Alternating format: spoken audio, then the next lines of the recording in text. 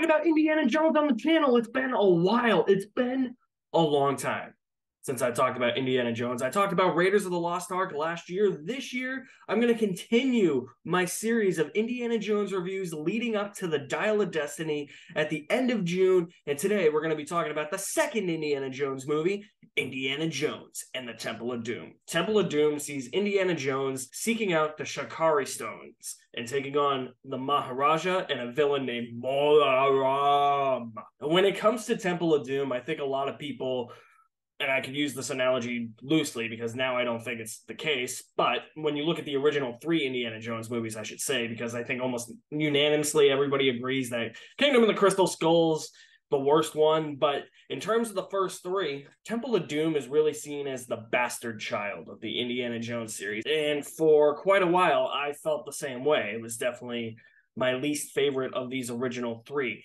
There's something that clicked in my mind the last couple of watches of Temple of Doom when I was watching the Indiana Jones movies through again.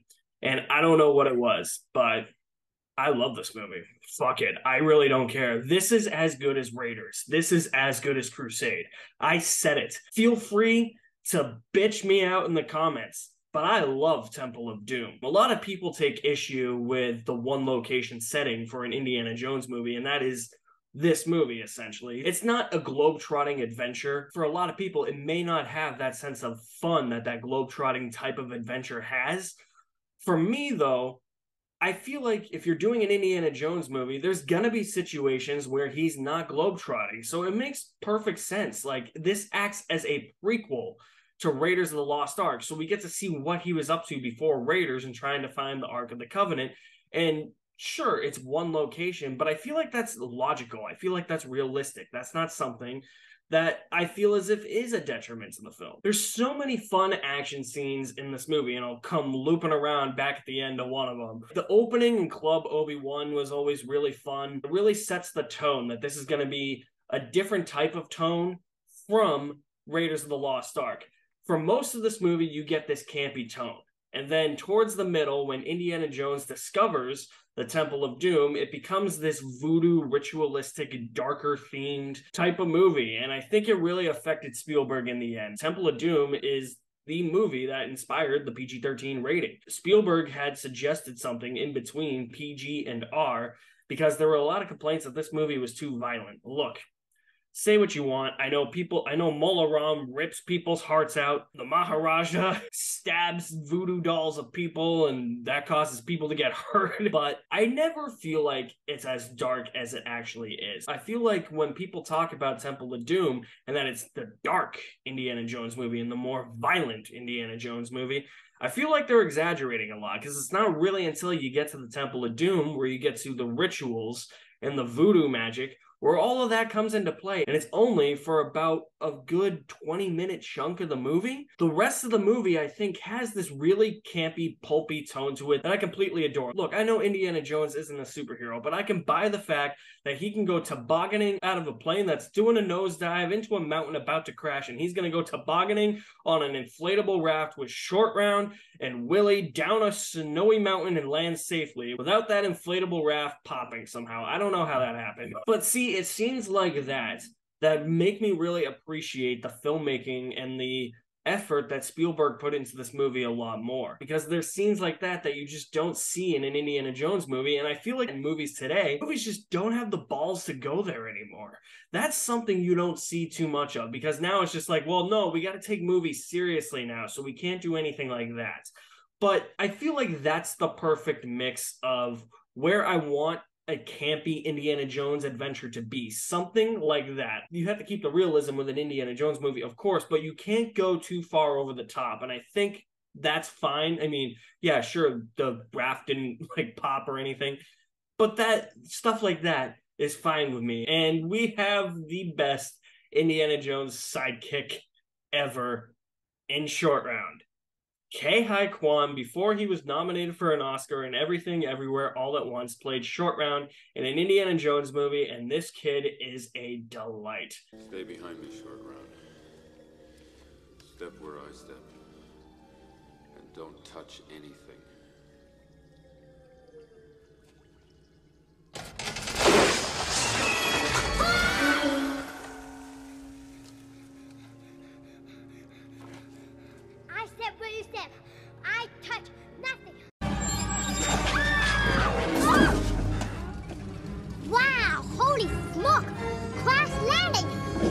Short round. Step on it. Okie dokie, Dr. Jones, hold on to your potatoes! Try not loud! There's also another character in this movie that comes along for the ride that gets so much shit. I can make an analogy here that she is the Denise Richards of the Indiana Jones series because Denise Richards plays Christmas Jones in The World Is Not Enough, and she is unanimously considered the worst part of The World Is Not Enough. Kate Capshaw plays Willie, a club singer who gets dragged into this adventure by Indiana Jones and Short Round. And yes, she's annoying. However, these past couple rewatches, I haven't found her as annoying as I have in the past. And I feel like that that is something that's also over exaggerated. I've seen complaints that she screams a lot. And look, when she's when she's part of that voodoo ritual and she's like screaming, ah! She has every right to scream and be annoying there because I would probably do the same thing in that situation. I feel like she just doesn't have a lot of confidence in herself. I would say the only other scene where she's slightly annoying or at least starts to get on my nerves somewhat is the scene where after they have dinner with the Maharaja and they go through the wall, she has to reach into the wall to pull the lever so that Indy and Short Round can escape by the skin of their teeth. And Indy's like, We're going to die. We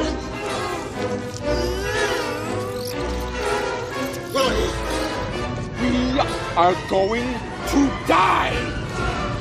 and she's so afraid to pull the lever because there's a bunch of bugs there. She doesn't want to touch the bugs and she's freaking out. That's the one scene where I'm like, okay, maybe I see where the complaints are, but for the rest of the movie for me, I think she's tolerable. And for a character like that, it's at least touched upon in the movie. Not why she's so annoying, but the characters themselves actually reference the fact that they want her to shut up that she is annoying. And i and you know that's not really a defense for her being annoying but i appreciate that the movie actually took the time to do that that both indy and short round were saying look lady shut up. You're annoying the hell out of us right now. So the movie actually addresses her annoyance. And i've been very critical of annoying characters in the past on this channel in many movies i just think i just think movies have to actually have the character stop take a minute and listen to what these characters are saying and then have those characters address the annoying character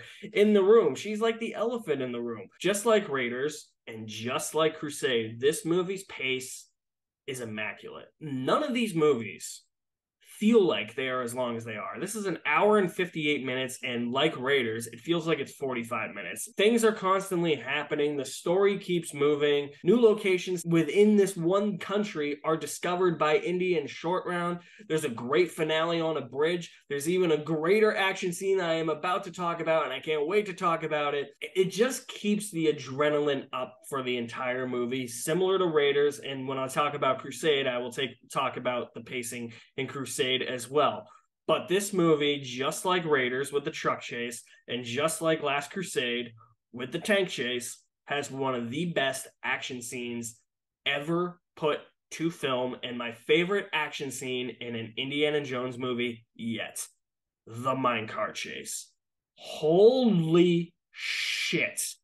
This thing is exhilarating. I love this action scene so much. The POV shots make you, as a viewer, feel like you're on a high speed train or you're riding a roller coaster at Disney World and it's going really fast and it's going out of control. Quite frankly, watching that scene, I really do not know how Spielberg made that scene and how all the visual effects artists were able to perfect that for Spielberg to use, not CGI. We know that a lot of these Indiana Jones movies use practical effects and minimal CGI when they have to. It's so mind blowing how they did that. Even though this movie was filmed in the 80s, they didn't have the technology to do something like that that we would today, where we can perfect that on a computer or we can perfect that on a big giant soundstage, probably at the Pinewood Studios and London or something where you can do that. It's so crazy how Spielberg was able to film a five to six minute action sequence like that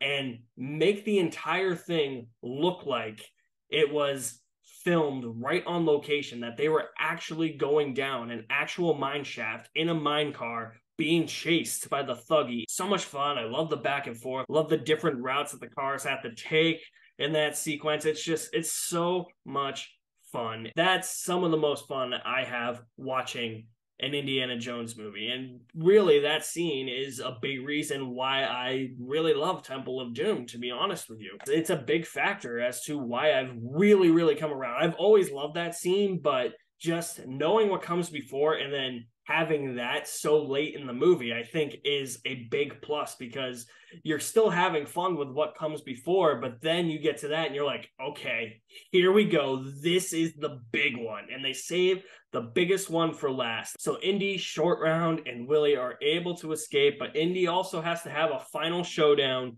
with Mola Ram, and but it's not that great of a fight. It ends up with Mola Ram falling into the water and getting eaten alive by crocodiles. There is another criticism you could say about this movie. It's that Mola Ram's not that great of a villain. I I get it. You know, I think he's a serviceable villain, but where I'm already having such a good time beforehand, I can overlook minimal development with a villain like that. As long as his plan is being carried out, he has motivation, and that plan by Indy gets gets thwarted at the end, and it does. I also love this shot of Indiana Jones running running towards the camera, and then him seeing all the Thuggee guards and him running back. It's it's so good.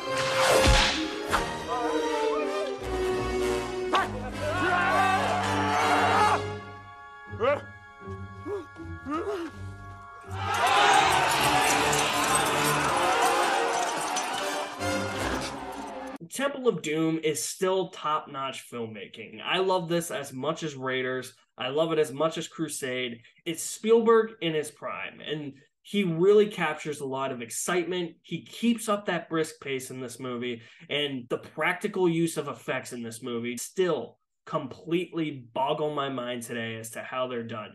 With these old reviews, I have been giving letter grades, so I'm going to give Temple of Doom a letter grade, and it's going to surprise a lot of people because as I said, I love it as much as Raiders and Last Crusade, and I gave Raiders an A plus. So that means I'm gonna give Indiana Jones and the Temple of Doom an A plus. Yeah, guys. I mean, I I was one of those people who I was like, yeah, it's a fun movie, but I don't love it. There's I don't know what it is. I sometimes with movies, something just clicks where you just see something and the more you watch something, you just fall in love with it and I guess that that's my relationship with Temple of Doom. Like I, the, these past couple of watches, I've just I've had more fun on these past couple of watches watching Temple of Doom than I have previously. So I think that that's also a big part of it. And I'm really looking forward to see if that keeps up in the future. So I remember the first time I watched it and I when I fell in love with it, I was like, this better stay the same for me on the next time I rewatch it. And then when I recently rewatched them last year, it did. So yeah, I mean, call me crazy for loving it as much as Raiders and Last Crusade, and I will talk about Last Crusade very soon. I will also talk about Kingdom of the Crystal Skull very soon. So stay tuned for those reviews. I have a big retrospective that I filmed in my old apartment with my cousins back in the summer that I haven't edited yet. It is going to be edited. That is going to be up probably the week before Dial of Destiny comes out. So I'm having a lot of fun talking about these Indiana Jones movies, and I might talk about another series or two leading up to a new release in those respective franchises as well. So I want to know your thoughts on Temple of Doom. Drop me those thoughts in the comments section below. I'll leave my link to my website in the description below as well. You guys are the best. Thank you for watching. My name is Alex Madden, and I will see you at the movies somewhere.